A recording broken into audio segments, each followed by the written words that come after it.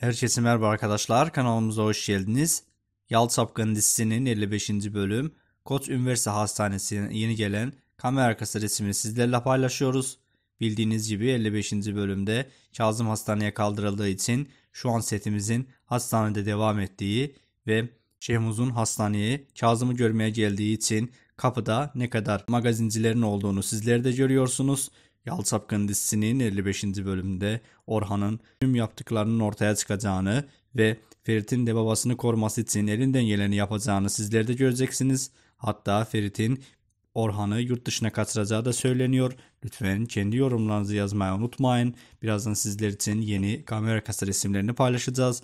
Bizleri izlemeyi, kanalımıza abone olarak bildirimleri açarsanız çok seviniriz. Sizleri seviyoruz. Hoşçakalın.